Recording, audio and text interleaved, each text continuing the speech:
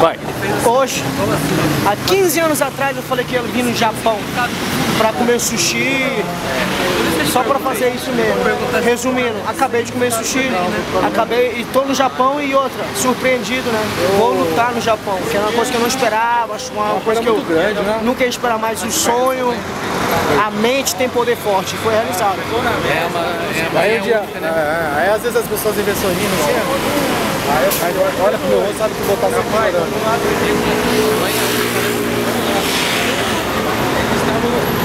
Diego Brandão nessa filmagem, já bateu peso, agora tá dando aquela desestressada, tirando foto, mandando mensagem para os fãs, para a família, para aquelas pessoas que sempre o apoiam independentemente de vitórias e derrotas.